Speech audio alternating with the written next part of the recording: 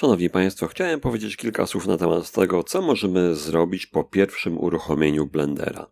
Mam tutaj ikonkę, którą przygotowaliśmy sobie w poprzednim poradniku, mam także ikonę na pulpicie i teraz, jeżeli kliknę ją dwa razy, to uruchamia się Blender. Nie jest to już dla nikogo zaskoczeniem. I teraz ważne jest to, co w tym Blenderze widzę, w tym splash screenie, w tym małym okienku po środku. Widzimy oczywiście logo, widzimy wersję, widzimy zachętę do wspierania developmentu Blendera i mamy także na dole takie guziki, czy też przyciski, które pozwalają zdecydować, w jaki sposób z Blenderem będziemy pracowali. Jest to dosyć ważne, ponieważ wybór, który dokonamy w tym miejscu, będzie później przez cały czas nas określał. Albo będziemy zaznaczali obiekty za pomocą lewego przycisku myszy, albo za pomocą prawego przycisku. Wszyscy, którzy korzystają z Blendera już od wielu lat, przyzwyczajeni są do korzystania z prawego przycisku myszy i jest to taki standard, który w zasadzie dla wielu zaawansowanych osób przychodzi bez trudu. Jest to też standard, który jest inny od wszystkich innych standardów, a przynajmniej od większości z nich, i dlatego deweloperzy wprowadzili możliwość zaznaczania lewym przyciskiem myszy, co wybieramy na początku. Domyślne ustawienia wyglądają właśnie w ten sposób i spróbujemy z nimi pracować przynajmniej przez jakiś czas. Jeżeli takie ustawienia pozostawimy bez zmian, oczywiście można później je zmienić w konfiguracji. Jeżeli jednak się zdecydujemy, aby pozostały, naciskam guzik Next i w tym momencie Blender stworzył plik konfiguracyjny, w którym te ustawienia zostały zapisane. To okienko nie pozostawi nam już wyboru kolejnym razem. Za kolejnym razem, jeżeli Blendera uruchomię, to ono już się nie pojawi. Proszę zobaczyć, uruchamiam, nie ma już tego wyboru. Teraz trzeba już zmienić to w konfiguracji, jeżeli się rozmyślę i spróbuję ustawić swoje ustawienia inaczej. Przy okazji, ten plik konfiguracyjny, który powstał, znajduje się w specjalnym, dosyć ukrytym katalogu, który za chwilkę pokażę. Jestem pod Linuxem, Powiększę to okienko, tak aby było to lepiej widać. Wchodzę do katalogu .config i tam mam katalog Blender. Tego katalogu wcześniej nie było. Mogę uruchamiać Blendera i zamykać go, dopóki nie zdecyduję, którym klikiem myszy chcę pracować, taki katalog nie powstanie i nie powstaną pliki, które w nim są. A więc jeżeli tam wejdę, zobaczę, że powstał katalog 2.80, to jest wersja Blendera, następnie katalog config, a w tym katalogu zapisany został pliczek o nazwie userpref.blend. Tam jest konfiguracja Blendera dotycząca przycisków, konfiguracji klawiszy i jeszcze paru innych rzeczy. Tam możemy znaleźć ten plik, a jeżeli go usuniemy, Blender znowuż poprosi nas o zdecydowanie, w jaki sposób chcemy pracować. Wybrałem zatem zaznaczanie lewym przyciskiem myszy. A więc jeżeli zaznaczę sobie kamerę, będzie zaznaczona. Jeżeli zaznaczę kostkę, będzie zaznaczona. Mam także jeszcze światło i są jedyne trzy obiekty, które na scenie można zaznaczyć. Jeżeli kliknę w tło lewym klawiszem, w tym momencie te elementy, które tutaj były wcześniej zaznaczone, się odznaczą. Jeżeli pokręcę kółkiem myszy, o widzę, że robi się zoom, jest to sposób na zoomowanie, to być może słabe widoczne, ale tutaj pojawia się na kółku myszy taka strzałka. Jest to dla nas taka wizualna indykacja, że coś rzeczywiście robię z myszą. No jest teraz tak, uruchomiliśmy Blendera, wybraliśmy podstawowy klawisz, za pomocą którego będziemy zaznaczali obiekty. Przypadkiem mi się czasami tu jeszcze wciska prawy klawisz, więc pojawia się wtedy menu, ale już nic się nie zaznacza, to moje stare przyzwyczajenie. No i co dalej? Jak pracować?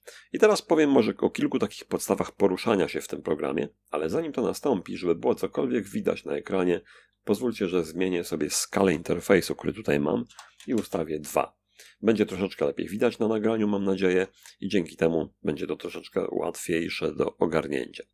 A więc tak wygląda mój blender. I teraz tak. Wciśnięcie kółka myszy, czyli środkowego klawisza, pozwala mi obracać scenę na różne strony. To jest podstawa poruszania się. Muszę cały czas oglądać scenę z różnych stron i dzięki temu lepiej się orientuję, co na niej mam. Tak to wygląda. Teraz, jeżeli będę kręcił kółkiem myszy, będę się przybliżał i oddalał do sceny, a więc mogę obserwować scenę z pewnego oddalenia. Jeżeli oddalę się za bardzo, moja scena zniknie. Po prostu działa tutaj tak zwany clipping i ograniczenie widoczności w widoku 3D, czyli w tym obszarze, który teraz mam. Rozwiązaniem na to jest nacisnąć klawisz Home i wtedy scena skaluje się do wszystkich obiektów w taki sposób, aby je było widać.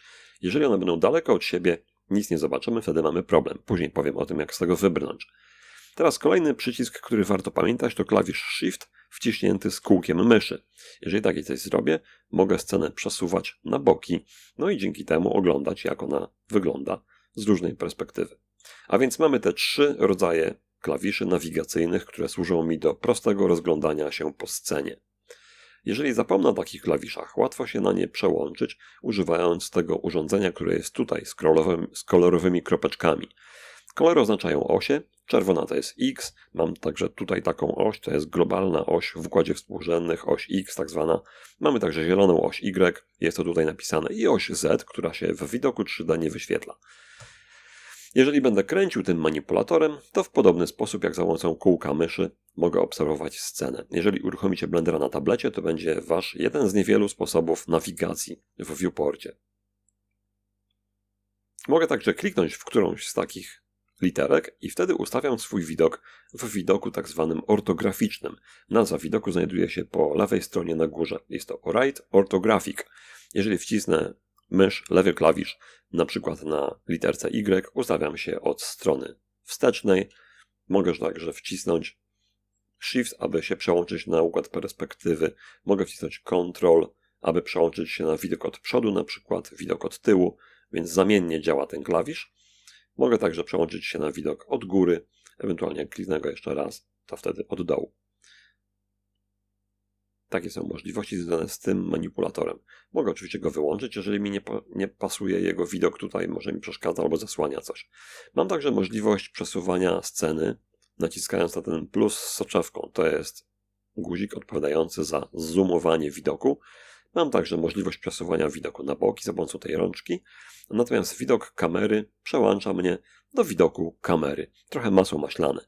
Kamera to jest ten obiekt, który teraz zaznaczyłem. Jeżeli się odsunę troszeczkę, to zobaczycie, że to jest właśnie ten. I patrzyłem właśnie przez taką kamerę. Do tego celu służy ten guzik. Normalnie na klawiaturze włączamy go za pomocą zera. Zero na klawiaturze numerycznej. Zwykłe zero może działać inaczej. Na zwykłej klawiaturze w tym przypadku nic nie robi ale zwykłe zero na klawiaturze numerycznej przełącza mnie do widoku kamery. W widoku kamery również mam możliwość przesuwania się z tym widokiem i robienia najazdu, zooma, powiększania, ale to już wiemy, robi to również kółko myszy kręcone, ewentualnie kółko myszy wciśnięte razem z shiftem. Przy zwykłym wyjściu z tego wystarczy, że wcisnę kółko i pokręcę, mam już normalny widok. Mogę także wcisnąć piątkę na klawiaturze numerycznej, aby przełączyć widok ortograficzny i widok perspektywy. Perspektywa powoduje, że linie zbiegają się gdzieś tam na horyzoncie w nieskończoności, natomiast w widoku ortograficznym wszystkie linie siatki są równoległe, nie zbiegają się nigdzie w przestrzeni. Czasami taki widok jest bardziej przydatny do robienia różnych rzeczy. Mam także możliwość kliknięcia tutaj, aby te rodzaje perspektyw i widoków zmieniać. Co jeszcze można w tym programie zrobić? Podstawowe elementy interfejsu, które tutaj widzimy, to jest przede wszystkim widok 3D, czyli ta centralna część ekranu, w której teraz pracuję. Ale oprócz tego mamy również inne widoki. Mam na przykład coś takiego jak menu na samej górze, które teraz otwieram. Mam panel z zakładkami, które można przesuwać naciskając środkowy klawisz myszy na nich, ewentualnie kręcąc kółkiem myszy. Mam pasek ze scenami, pasek z widokami, Mam także outliner, to jest obszar, który jest po prawej stronie w takim małym okienku. Mam także obszar własności, różnego rodzaju guziki, które tutaj się znajdują. Jest ich cała masa, są ukryte na zakładkach i te wszystkie zakładki mogę sobie przełączać.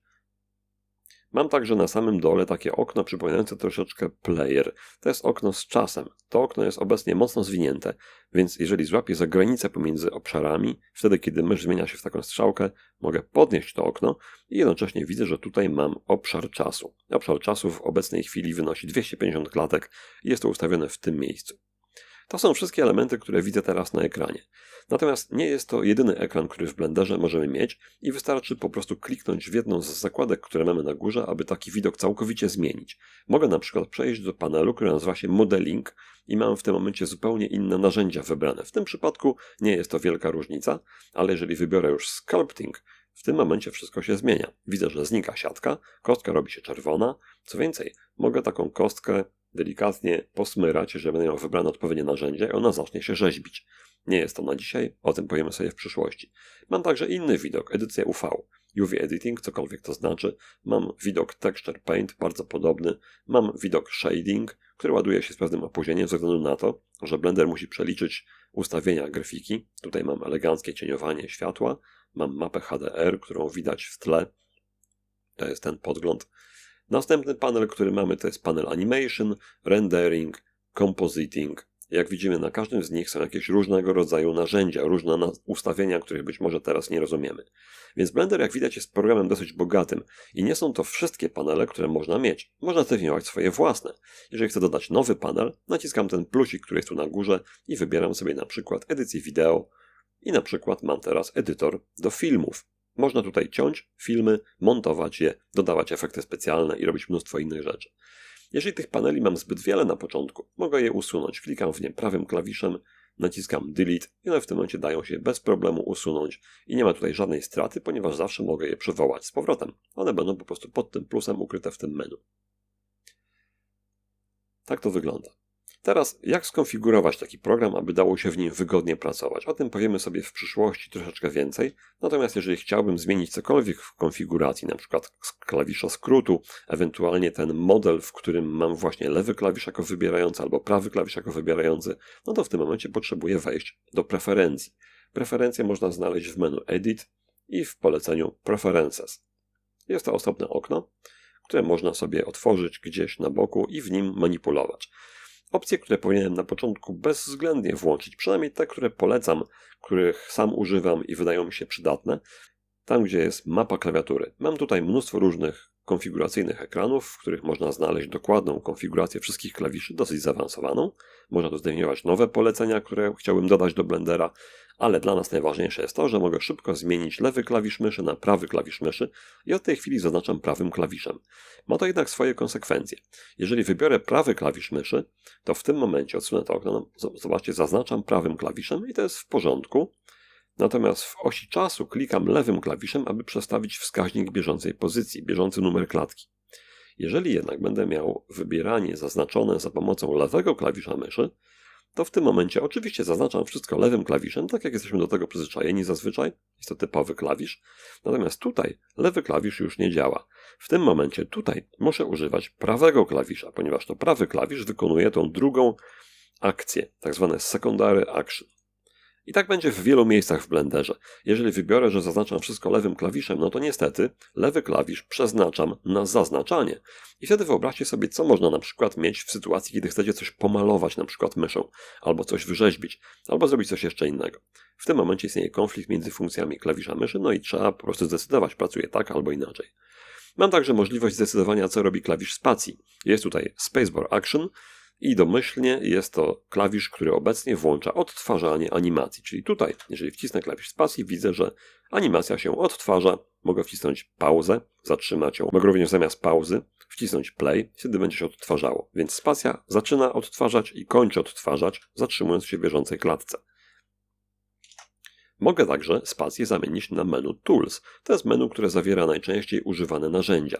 Więc jak wcisnę spację, w tym modelu pojawia mi się specjalne menu i to menu zależy od kontekstu, czy też od miejsca, w którym będę je wciskał, w którym będę próbował je pokazać. No i standardowe zachowanie, które do tej pory obowiązywało, to jest wyszukiwanie poleceń. Jak wcisnę spację, pojawia się mała konsola, w której mogę wyszukiwać polecenia. No i tam je znajdę albo ich nie znajdę. Mogę sprawdzić na przykład, czy jest polecenie hmm, na przykład download. Piszę down, no i widzę, że nie ma. A może jest coś takiego jak smile? Nie ma, Blender się nie uśmiecha. Ok, więc tu mogę wyszukiwać polecenia. Ponieważ to jest początkujący poradnik i Mówię tutaj specjalnie do osób początkujących, które prawdopodobnie nie będą chciały przestawiać konfiguracji tak od razu. Sam również będę musiał zmusić się do domyślnej konfiguracji, a więc zaznaczę wszystko tak, jak jest domyślnie. Te osoby, które rozpoczęły pracę z Blenderem w domyślnych ustawieniach, przyzwyczają się do tego i niestety już zostaną prawdopodobnie przy takim modelu. Więc ja również spróbuję w tym modelu pracować, ale weźcie pod uwagę to, że czasami będę się gubił, ponieważ ja jestem staro, że tak powiem, blenderowo prawo-klawiszowiec. OK, teraz szybko o konfiguracji. Zacznijmy od zakładki Interface. Te opcje, które tutaj mamy, możemy w gruncie rzeczy zignorować, ponieważ nic tu nie musimy zaznaczać. Te, które teraz są, są wstępnie w miarę dobrze zaznaczone. Następna opcja to schematy. Mogę tutaj wybrać sobie schemat kolorów, na przykład jasny. To jest przydatne wtedy, kiedy pracuję na rzutniku i chcę całej klasie pokazać Blendera. Moim studentom na przykład często pokazuję ten jasny kolor, chociaż ostatnio twierdzili, że lepiej widzą na ciemnym. Zależy to od jasności rzutnika jasności ekranu, z którego korzystacie. Ja zostawię Blender Dark. Możemy także zmienić sobie na przykład siłę, że tak powiem, koloru tej siatki. Wystarczy tylko, że wezmę sobie widok 3D i tutaj mam od razu ustawienie jasności siatki. Jak widzicie, teraz siatka jest bardzo jasna, a teraz jest bardzo ciemna. Więc mogę w ten sposób sobie pozmieniać poszczególne elementy interfejsu, jeżeli chcę. Tego typu elementy mogę później zapisać, tworząc nowy preset. Wystarczy tylko, że wcisnę ten plusik tutaj, nacisnę sobie na przykład standard 2.8. Tak sobie zapiszę tą nazwę. No i ta nazwa teraz będzie obowiązywać. Mogę ją zawsze wybrać, jeżeli będę chciał i ona tutaj będzie przechowana przez Blendera. Oczywiście, żeby była przechowana przez cały czas, na zawsze, muszę wcisnąć guzik Save Preferences i warto to zrobić po każdej zmianie tutaj, aby po prostu nie zapomnieć. Następna zakładka to jest Viewport. Z tego co widzę w Viewporcie również nie mamy zbyt wiele rzeczy do zaznaczania. Tutaj jest wszystko dobrze, przynajmniej tak mi się wydaje. Jeżeli coś będzie trzeba zmienić, to oczywiście do tego miejsca wrócimy. Potem mamy ustawienie świateł, nic nie zmieniamy. Potem mamy ustawienia edycji. Patrzę po tych wszystkich elementach, które tutaj są i widzę, że chyba tutaj również nic nie będziemy zmieniać. Enter Edit, to może wszystko zostać tak jak jest. Mamy następnie Animation,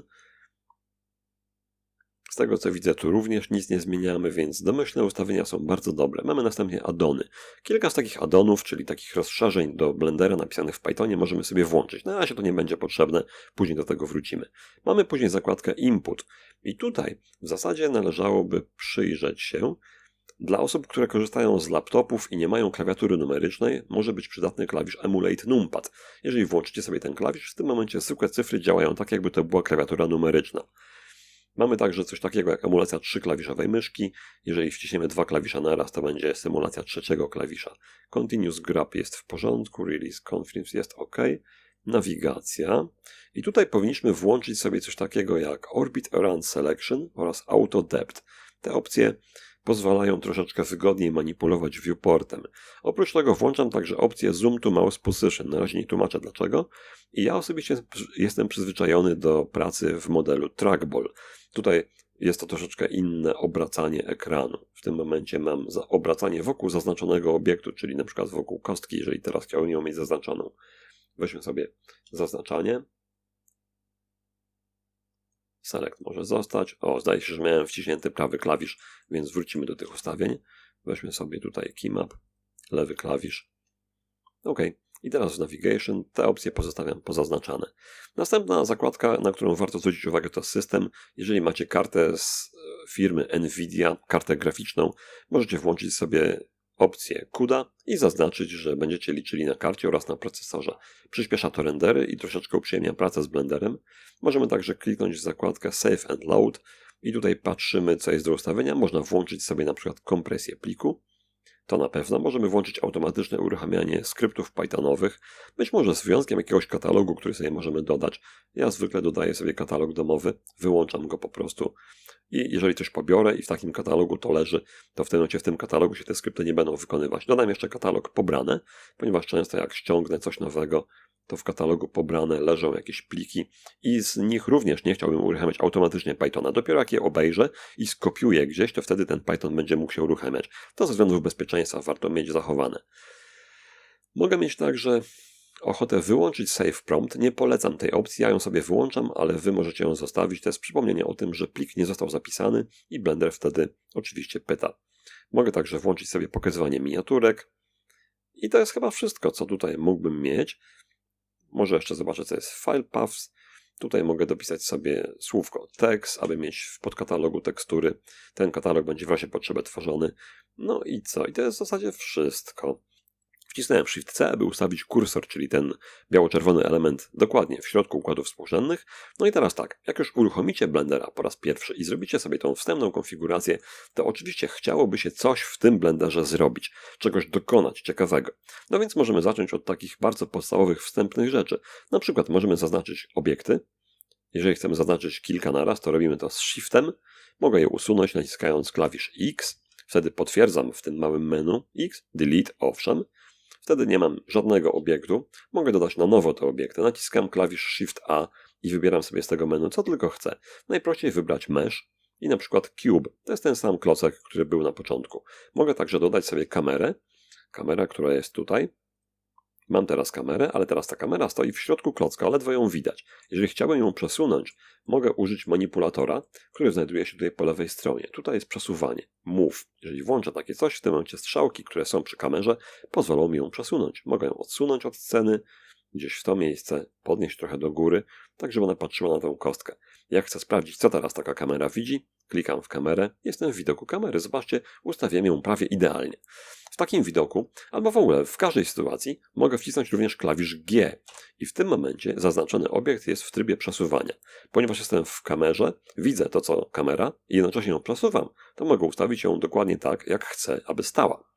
Mogę także wykonać pewne obroty kamery, znaczy, że wybiorę sobie obracanie, ale w tym momencie nie mam łatwej nawigacji. Żeby to zrobić, mógłbym nacisnąć klawisz R i teraz dopiero mogę obracać kamerą. Niestety to obracanie tutaj nie jest zbyt precyzyjne. Mogę jeszcze raz wcisnąć R i teraz obracam się troszeczkę inaczej. Troszeczkę tak, jakby ta kamera patrzyła sobie w dowolne miejsca, w które chcę. I jest to obrót odwrotny. Jak ciągnę do dołu, to tak naprawdę ta kamera patrzy do góry. Trzeba się do tego przyzwyczaić. Dwa razy R pozwala mi na takie dosyć swobodne obroty, dosyć też agresywnie przebiegające, to znaczy bardzo szybko i gwałtownie się ta kamera przesuwa. Mogę to troszeczkę spowolnić i uspokoić, jak wcisnę klawisz Shift. Lewym klikiem akceptuję taki obrót. Zobaczmy jeszcze, jak to wygląda z zewnątrz. Tak wygląda ten manipulator, który włączyłem sobie tutaj za pomocą obrotów. Za pomocą przesuwania mógłbym przesuwać kamerę, za pomocą obrotów mogę ją obracać. Więc tutaj mam nawet kąt obrotu. Zwróćcie uwagę podczas obracania. Tutaj w tym obszarze, gdzie teraz ruszam myszą, pojawia się kąt obrotu. Można sprawdzić, co ile taka kamera się przesuwa.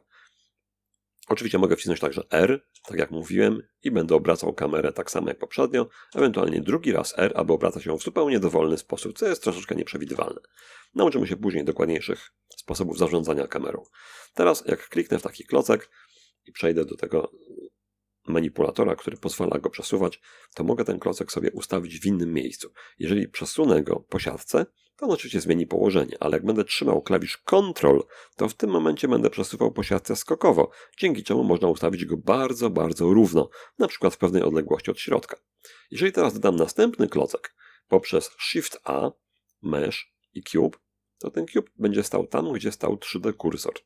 3D kursor też mogę przesunąć i ustawić precyzyjnie w jakimś miejscu sceny, wybierając sobie po prostu 3D kursor z tego menu i klikając myszą.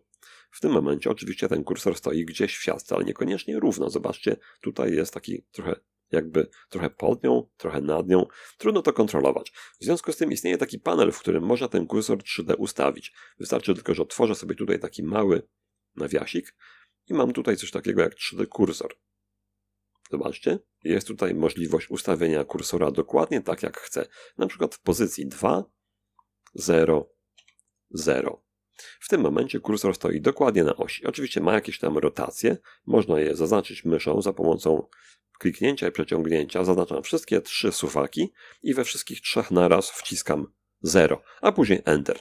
Tym momencie kursor jest już przywołany do porządku i teraz jeżeli wstawię następny obiekt, na przykład kulkę, to ta kulka UV Sphere w tym momencie będzie stała dokładnie tam, gdzie był kursor.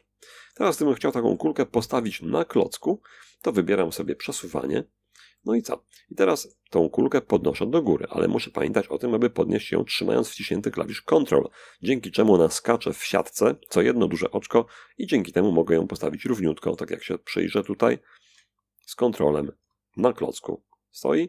Stoi. Tak to wygląda. Oczywiście istnieje sposób, żeby kontrolować położenie obiektów i najlepiej jest zrobić to wtedy, kiedy ustawię się w widoku od przodu, na przykład tak jak teraz, to jest front i dodatkowo ortografik.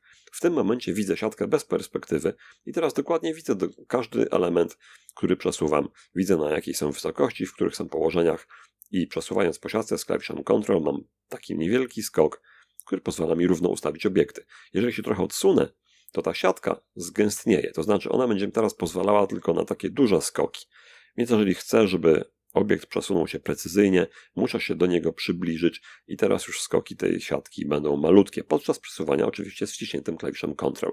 Więc w ten sposób mogę kontrolować swoje obiekty. Jeżeli zaznaczę teraz te dwa klocki, jednocześnie z kulką, to mogę kliknąć znowuż w Y, tak żeby ustawić się widoku od przodu. Weźmy sobie, kliknijmy to right, tutaj będzie left, user. No, widzę, że tutaj trzeba się naklikać, żeby trafić. Mam front ortografik. Prościej nacisnąć po prostu jedynkę na klawiaturze numerycznej, albo trójkę, albo siódemkę. To są stare skróty, które od wielu lat obowiązują. To jeżeli mam takie coś, to mogę teraz pociągnąć wszystko do góry i ustawić tak jakby na poziomie osi X. Wtedy będzie wydawało się, że te obiekty stoją na siatce. Tak to wygląda. No i teraz co z tym zrobić? No scena jest tak prosta, że tutaj aż żal ściska, może tą kostkę trochę odsunę. Dodam szybko jeszcze jeden obiekt, taki jak plane, to jest taki kwadrat. I ten kwadrat przesunę troszeczkę do środka, gdzieś tutaj. I teraz go przeskaluję. Wybierę sobie narzędzie do skalowania, czyli taki skaler. Ustawię się tak w widoku, żeby było wszystko dobrze widać i kliknę w ten niebieski kwadracik, który tutaj jest. Ten kwadracik skaluje jednocześnie w osi Y i jednocześnie w osi X. Proszę zobaczyć, jeżeli takie coś zrobię, mogę rozciągnąć ten kwadrat i zrobić coś na kształt podłogi. W tym momencie w widoku kamery, jeżeli nacisnę 0 na klawiaturze numerycznej, zobaczę jak wygląda moja scena. Zaznaczam teraz kamerę, odsuwam się troszeczkę kółkiem myszy, ustawiam sobie ten widok i naciskam klawisz G, aby poprawić położenie kamery na przykład na takie. To jest całkiem w porządku położenie kamery. Teraz będąc w widoku kamery cały czas mogę zaznaczyć mój plane, czyli podłogę i na przykład kliknąć strzałkę X-ową i przesunąć tą podłogę w taki sposób, aby było ją widać tutaj w całości. Widzę, że ona jest za mała i pewnych narożników już nie jestem w stanie zobaczyć, bo się podłoga kończy. Mogę przesunąć ją troszeczkę jeszcze w tą stronę, ale to nie pomaga, więc muszę ją po prostu jeszcze raz przeskalować. Włączam skalowanie, ciągnę i robię to do tego momentu, do którego widzę za granicami kamery, że podłoga już sięga aż za te granice. Teraz tak, dlaczego tak robię? Ano dlatego, że jak wcisnę F12, to zrobię render. I to będzie wyrenderowanie mojej sceny, która w tym momencie wygląda tak. Nie jest może jakoś szczególnie wspaniała, to dlatego, że nie mam dobrego światła tutaj. Ale gdybym dodał, dobre światło, pewnie wyglądałoby to znacznie lepiej. Teraz, jak wyrenderować scenę i zrobić swój pierwszy render? Jak zostać grafikiem 3D? Tyle pytań, tak mało odpowiedzi. Wybieram sobie taki aparacik fotograficzny i następnie z tego menu, które tutaj jest, wybieram silnik renderujący, który nazywa się Cycles. W tym momencie Cycles będzie renderował na procesorze. Mogę wybrać sobie stąd kartę graficzną GPU Compute, jeżeli wcześniej w konfiguracji wybrałem sobie urządzenia kompatybilne z CUDA. Jeżeli mam kartę NVIDIA, to jest to jak najbardziej możliwe. Teraz Cycles będzie liczył na karcie graficznej. Dodam sobie do sceny jeszcze jakieś światło. Weźmy sobie stąd na przykład coś takiego jak na przykład Sun, San jest tutaj, mogę przełączyć się do transformacji przesuwania, przesunąć ten san do góry, mogę go troszeczkę obrócić, tak aby nie był taki całkiem poziomy. I teraz mogę zobaczyć, jak będzie wyglądał mój render, naciskając klawisz F12. Widzę, że Cycles renderuje troszeczkę inaczej. Robi to w postaci takich małych kwadracików, które lecą sobie spiralą Hilberta po całym obrazie. No i jak się skończy ten render, to zobaczę, co wyszło. Ale już teraz widzę, że wygląda to całkiem nieźle. Jak na pierwszą pracę, Myślę, że takie coś mogłoby już być czymś, co można uznać za jakiś mały sukces. Oczywiście dojdziemy do wielu większych rzeczy, ale tak można zrobić render, przynajmniej ten pierwszy, nieśmiały, wtedy kiedy jeszcze nie mamy kontroli nad całą resztą programu. Teraz co z tym renderem dalej? On się pojawia w osobnym oknie. Mogę to okno zamknąć, no i wtedy wydaje się, że go straciłem, ale to jest oczywiście złudzenie. Mogę zobaczyć, co jest tutaj w panelu Window, mogę zobaczyć, co jest w render i mogę zobaczyć, co jest tutaj w opcjach. Mam takie coś, jak Display Mode i mam tutaj na przykład Full Screen Image Editor, nowe okno. To jest to miejsce, w którym wyświetla się mój render. I mam tutaj gdzieś pewnie jeszcze coś takiego jak View Render. Zobaczcie, jest taka opcja F11. Jeżeli wcisnę F11, w tym momencie mój render, który zrobiłem, zostanie przywołany i nie muszę się martwić, że on został stracony. Oczywiście, jeżeli coś zmienię na scenie, musiałbym wyrenderować od nowa. Jeżeli jednak wcisnę F11, mam przywołane okno z renderem, no i teraz, jeżeli chciałbym zapisać taki obrazek i komuś się później pochwalić, muszę nacisnąć klawisze Alt S. Z tego co widzę nie działają, Ctrl S widzę, że działają, ale zapisać chce się plik blend, więc to nie jest mój obrazek, więc żeby sprawdzić, czy jest jakiś klawisz, który zapisuje mi ten obraz, muszę zobaczyć, co jest tutaj w menu. No i patrzę, jest Save As i jest Shift S. Sprawdziłem Alt i Ctrl, a na Shift nie wpadłem. No cóż, człowiek całe życie się uczy. W związku z tym wybieram Save As i mogę teraz zapisać ten obrazek na przykład do obrazów i niech to będzie mój pierwszy render. Mój pierwszy render. Mogę to wpisywać z drżącymi palcami dosłownie, no ale jest to mój pierwszy render, przynajmniej w przypadku niektórych z Was. I teraz, jeżeli wpisałem taką nazwę, wybieram sobie z tego okna Save as Image. Klikam raz, żeby ta nazwa się utrwaliła, później drugi raz, ewentualnie, żeby zapisać. W tym momencie obrazek jest zapisany Jeżeli teraz przejdę do file systemu, otworzę sobie katalog obrazy, to widzę, że tutaj jest mój pierwszy render. Proszę bardzo, mogę dwa razy kliknąć, wyświetla mi się ten obrazek. Doskonale, a więc zrobiłem pierwszy render, na razie szary i mało kolorowy, ale przynajmniej jest. Dodam jeszcze po namyśle krótkim, jak zapisać ten plik, ponieważ wiele z Was będzie chciało spróbować go zapisać. Robi się to bardzo prosto. Naciskam Ctrl S. Plik nie był wcześniej zapisany, w związku z tym Blender podpowiada jego nazwę, domyślnie wpisując untitled, czyli nienazwany. Mogę teraz wybrać sobie katalog, w którym będę chciał zapisywać takie pliki i podać nazwę tego pliku. Nie ma jednak katalogu, w którym chciałbym takie pliki zapisywać. Taki katalog mogę sobie zrobić. Mogę zrobić go naciskając na ten przycisk tutaj, ewentualnie wciskając klawisz I, trzymając mysz na obszarze tych katalogów tutaj. Wciskam I i mam w tym momencie opcję Create New Directory. W tym momencie wybieram tę opcję i wpisuję tutaj Blender. W tym momencie, w tym katalogu będę mógł zapisywać swoje pliki blenderowe i zapiszę tutaj nazwę mój pierwszy Blender. Czy tam mój pierwszy render, czy tam mój pierwszy kostek, cokolwiek. Jeżeli wpiszę taką nazwę, wciskam Enter, w tym momencie nazwa się uzupełnia, jest już kompletna i wtedy mogę nacisnąć Save Blender File. Bam, zapisane. W tym momencie mogę wyjść z Blendera i Blender się nie pyta, czy wyjść, czy jestem tego pewien, ponieważ tę opcję wyłączyłem w konfiguracji.